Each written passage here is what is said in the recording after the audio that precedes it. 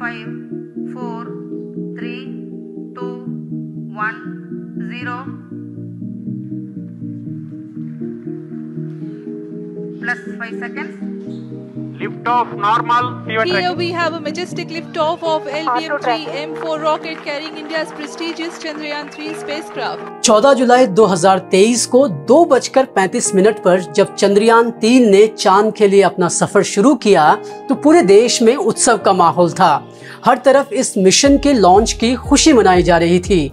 चंद्रयान तीन 42 दिन बाद चाँद तक पहुंचेगा और इस बार अगर इसरो के लैंडर की चंद्रमा की सतह पर सॉफ्ट लैंडिंग हो जाती है तो संयुक्त राज्य अमेरिका, रूस और चीन के बाद भारत का इस कामयाबी को हासिल करने वाला चौथा देश बन जाएगा। आज स्पेस मिशन में परचम लहराने वाले इसरो की शुरुआत कभी संघर्ष भरी रही थी और इस संघर्ष का हिस्सा रहे थे उत्तराखंड के कर्नल नीलांबर पंत। आज आप अगर अपने घरों में बैठकर टीवी देख पा रहे हैं मोबाइल पर इंटरनेट चला पा रहे हैं तो इसका पूरा श्रेय नीलांबर पंत को जाता है। इस स्पेशल रिपोर्ट में हम आपको बता रहे हैं कि कैसे अल्मोड़ा के एक छोटे से गाँव का युवा इसरो तक पहुँचा, कैसे उसने भारत में कम्युनिकेशन की दुनिया ही बदल कर रख दी, और कैसे उसने मेड इन इंडिया सैटेलाइट्स तैयार करने में अहम भूमिकाएँ निभाई थीं।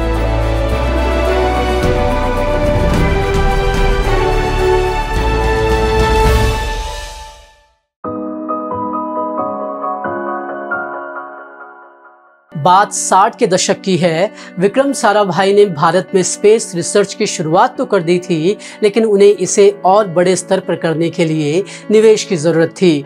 इस दौर में स्पेस प्रोग्राम में सरकार की कोई रुचि नहीं थी। ऐसे में विक्रम साराभाई ने भारत सरकार को कन्विंस करने की ठानी और दूरदर्शन पर आज भी आने वाला प्रोग्राम कृषि दर्शन, इसी कोशिश का हिस्सा था। जब भारत में आधिकारिक तौर पर टेलीविज़न शुरू भी नहीं हुआ था, तब इसरो ने कृषि दर्शन प्रोग्राम देश के गाँव गाँव में प्रीमियर किया था।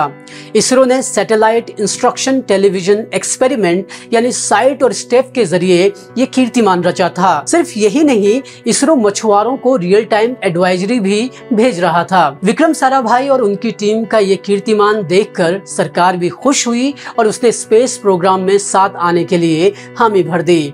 और इसरो की जो टीम इस काम को अंजाम दे पाई, उसका एक हिस्सा थे नीलांबर पंत। नीलांबर पंत को देश में सैटेलाइट आधारित कम्युनिकेशन और ब्रॉडकास्टिंग को लाने का श्रेय दिया जाता है। नीलांबर पंत और उनकी टीम की ही मेहनत है कि आज देश में घर घर में टेलीविज़न पहुँचा है। आज डिजास्टर मैनेजमेंट प्रोडक्शन हो या फिर मौसम सुधरने और बिगड़ने का जो अनुमान लगाया जाता है, वो भी नीलांबर पंत और उनकी टीम की वजह से संभव हो पाया है। 25 जुलाई 1931 को अल्मोड़ा में जन्मे नीलाम्बर पंत ने अपनी शुरुआती पढ़ाई अल्मोड़ा से ही की। अल्मोड़ा में उन्होंने इंटरमीडिएट तक पढ़ाई की। उसके बाद 1948 में उन्होंने लखनऊ यूनिवर्सिटी में दाखिला लिया। यहाँ उन्होंने उन्नीस सौ बावन में फिजिक्स में अपनी पोस्ट ग्रेजुएट डिग्री हासिल की और डिग्री में उनका प्रमुख सब्जेक्ट वायरलेस था। पढ़ाई पूरी करने के बाद नीलांबर पंत ने मई 1965 में उस टीम को ज्वाइन किया, जो आगे जाकर इसरो बनी। 1965 में उन्हें अहमदाबाद में experimental satellite communication earth station स्थापित करने का टास्क दिया गया। नीलांबर शुरुआत से ही देश में सैटेलाइट बेस्ड कम्युनिकेशन और ब्रॉडकास्टिंग की शुरुआत करने वाली टीम का हिस्सा रहे हैं। वो देश के पहले कमर्शियल अर्थ स्टेशन के चीफ सिस्टम इंजीनियर भी रहे। 1974-75 के दौरान देश में सैटेलाइट इंस्ट्रक्शन टेलीविज़न एक्सपेरिमेंट यानी साइट के लिए प्रमुख अर्थ सब स्टेशन और इक्विपमेंट तैयार करने में भी नीलांबर पंत ने अहम भूमिका निभाई। साइट वही तकनीक है जिसके ज़रिए देश में पहली बार कृषि दर्शन दिखाया गया। आज भी दूरदर्शन के ज़्यादातर चैनल इसी के ज़रिए चलते हैं और प्राइवेट चैनल चलाने की तकनीक डीटीएच को भी इसी से इंस्पायर होकर तैयार किया गया है। इसरो में अपने करियर के दौरान नीलांबर पंत साइट के डायरेक्टर भी रहे। इसके अलावा वो कम्युनिकेशन एरिया के चेयरमैन भी रहे। इसरो में उन्होंने कई अहम पदभार संभाले। वो स्पेस सेंटर के डायरेक्टर भी रहे हैं, जिसके ज़रिए चंद्रयान तीन को लॉन्च किया गया है। आज सतीश धवन स्पेस सेंटर के नाम से जाना जाने वाला यह सेंटर पहले श्री हरिकोटा रेंज के नाम से जाना जाता था। नीलांबर पंत की लीडरशिप में इस सेंटर में सैटेलाइट लॉन्च की कई सुविधाओं को तैयार किया गया।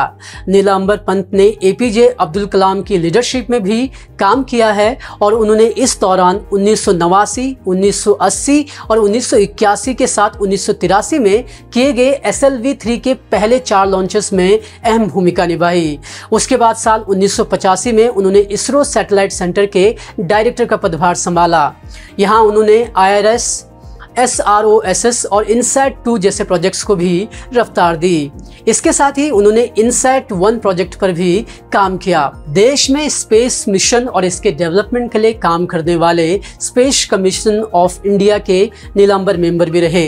बाद में नीलांबर पंत इसरो के वाइस चेयरमैन बने। Space scientist A E Muthunayagam अपनी किताब फ्रॉम स्पेस टू सी में बताते हैं कि नीलांबर पंत इस पोस्ट पर 1990 तक रहे। नीलांबर पंत के रिटायर होने के बाद इस पोस्ट को ही खत्म कर दिया गया। हालाँकि जब तक वो इसरो के वाइस चेयरमैन रहे, उस दौरान उन्होंने रोहिणी प्रोजेक्ट के साथ कई और अहम प्रोजेक्ट्स को लीड किया और इनके एग्जीक्यूशन में अहम भूमिका निभाई। नीलांबर पंत ने देश में सैटेलाइट कम्युनिकेशंस और ब्रॉडकास्टिंग के फ़ील्ड में बहुत काम किया।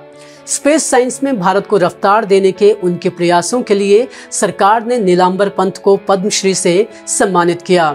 पंत को यह सम्मान उन्नीस सौ चौरासी में दिया गया। उन्हें उन्नीस में एरोनॉटिकल सोसाइटी ऑफ़ इंडिया ने भी doctor Biren Roy space award से सम्मानित किया। वहीं उन्नीस सौ पंचानबे में आर्यभट्ट अवार्ड 2005 में विक्रम साराभाई मेमोरियल अवार्ड और 2006 में इसरो ने एक्सीलेंस इन परफॉर्मेंस अवार्ड से भी नीलाम्बर पंत को सम्मानित किया। 2010 में उन्हें लाइफ टाइम अचीवमेंट अवार्ड से भी इसरो ने सम्मानित किया। नीलांबर पंत ने 1965 से कई स्पेस मिशन पर काम शुरू किया। उसके बाद उन्नीस सौ उनहत्तर में जब इसरो की स्थापना हुई तो इस संस्था के शुरुआती मेंबर्स में से एक थे।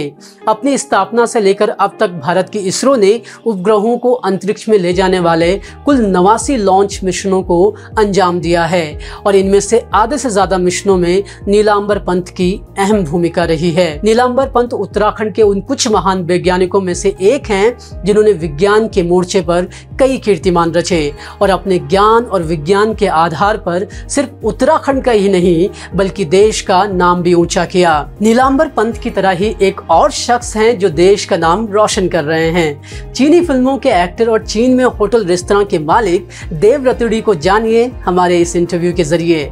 साथ ही, अगर आपको हमारा कंटेंट पसंद आ रहा हो तो शेयर लाइक और सब्सक्राइब करना ना भूलें। शुक्रिया।